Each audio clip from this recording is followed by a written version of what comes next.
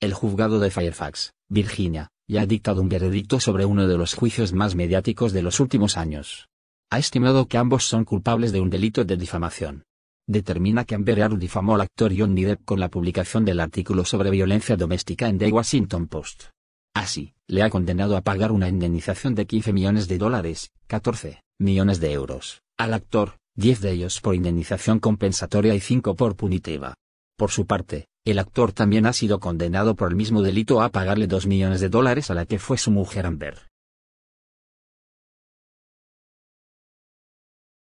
Caso civil CL 2019-2911 el señor Depp contra la señora Heard en relación a la declaración aparecida en el editorial de opinión diciendo Amber Heard he hablado en contra de la violencia que eso tiene que cambiar en el Washington Post en la edición en línea cito hablé en contra de la violencia sexual y la cultura que existe. Eso tiene que cambiar. Cierro la, la cita. ¿Usted ha hallado que el señor Depp ha aprobado todos los elementos de difamación? Respuesta, sí.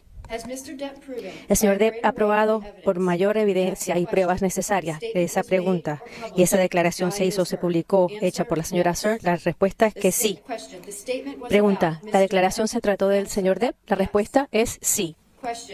Pregunta, ¿la declaración fue falsa? La respuesta, sí. La pregunta, ¿la declaración tiene una implicación de difamación en relación a la personalidad del señor Depp? Respuesta, sí.